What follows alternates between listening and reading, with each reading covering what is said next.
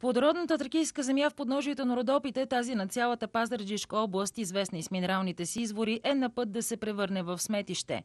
Затова сигнализира Алфа ТВ.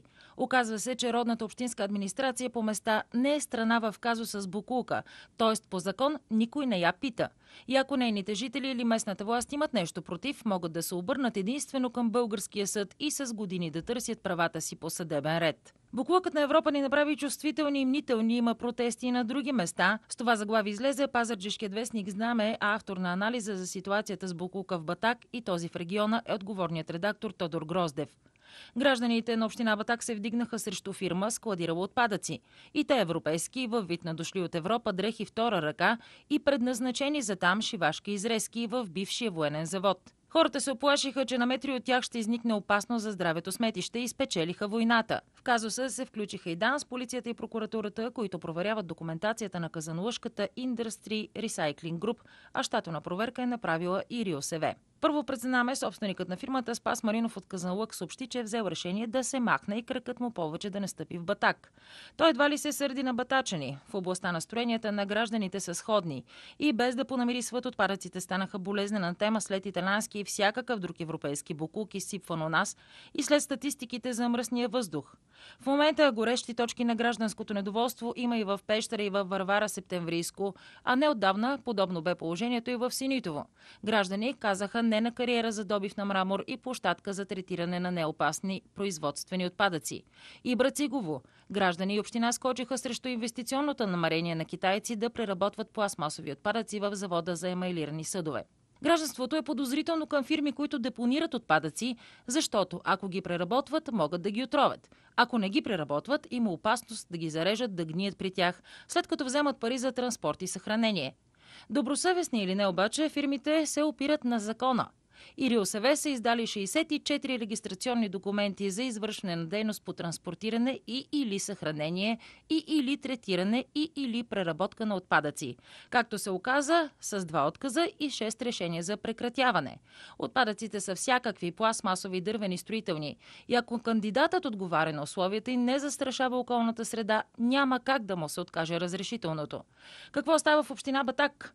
Фирма Industry Recycling Group от 29 октомври 2019 година получава разрешително от РИОСВ Пазарджик да съхранява неопасни отпадъци с допустима маса 12 000 тона годишно и 300 тона пластмаса и каучук в ипотекираните 17 сгради на завода, който към момента е собственост на задължнялата към общината фирма Енергометал. Появиха се снимки във Фейсбук. Гражданите вдигнаха шумотевица, сравнявайки общото количество на 2000 тона буклук от закритото им депо и новите 12 000 тона.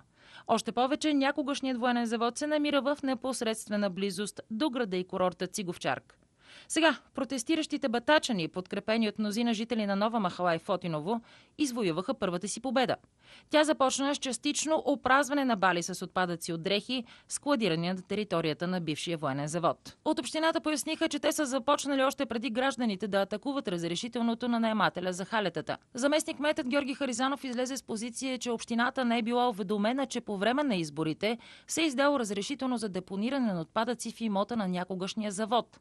След като видели обявата в сайта на екоинспекцията, моментално обжавали акта в закон установения 14-дневен срок от МОСВ, наред с близостта на живущите и на курорта Циговчарк, жалбата се опоменава, че халетата са стари и в някои от тях има опасност от самосрутване. От Министерството обаче оставят без разглеждане писмото с мотива, че Община Батак не е страна в казуса. Общината обжава решението пред Върховния административен съд. През това време от администрацията са сезирани ДАНС, МВР, прокуратурата, ДНСК и Общинския съвет в Батак. Управителят на дружеството Спас Маринов заяви пред вестник Знаме, че нито има намерение да преработва отпадъците, нито да ги държи докато изгният. Не е вярно, че съм складирал 12 000 тона. На пролет си тръгвам и забравям за този край, заяви Маринов. Той изпрати в документи в редакцията, за да докаже, че бизнесът му е прозрачен и не е предизвикал екокатастрофи никъде. До тук чудесно. Но и ние от Алфа ТВ обръщаме сериозно внимание, че общината, видите ли, не била страна в случая. Тоест необходими са спешни законови промени.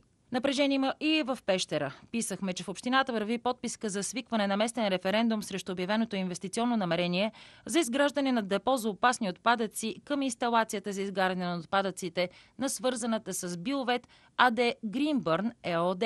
Срещу депонираните букуци на входа на Варвара пък протестираха преди дни кметовете на подбалканските села в Септемврийско. Варвара, Ветрен дол, Симчиново, Симеоновец, както и общинският градоначалник Марин Рачев. Гражданската си позиция заявиха още общински съветници, жители на Варвара и техни самишленици. Всички те призоваха РИОСВ да отнеме разрешителното на собственика на букуците Екобул пак АД, а фирмата и собствениците на терена да вдигнат балите доброволно. Какво ще стане, предстои да видим. Наред е съда. По последния сигнал на зрители на Алфа ТВ, тъй като точното място на Букулка във Варвара е бившият завод за спирално-заварни тръби, който пък на практика е в коритото на реката, опасността от теко катастрофа е голяма. Районът е баластрово легло над 10 метра дебелина, т.е. евентуално замърсяване ще стигне до подпочвените води, които там са на 2 метра.